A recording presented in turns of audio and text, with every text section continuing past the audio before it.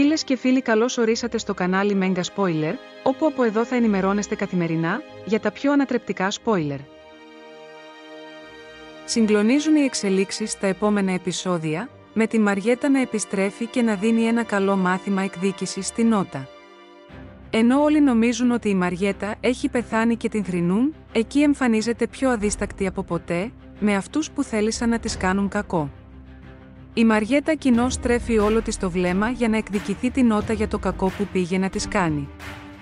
Πιο συγκεκριμένα, προσλαμβάνει μπράβους και τους στέλνει στην νότα για να τη χτυπήσουν.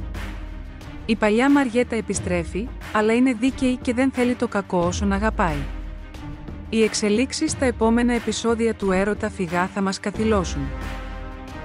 Εάν μας βλέπετε για πρώτη φορά, έχετε την δυνατότητα να κάνετε μια δωρεάν εγγραφή, να ενεργοποιήσετε και το καμπανάκι, για να λαμβάνετε ειδοποιήσεις για τα νέα βίντεό μας. Σύντομα κοντά σας!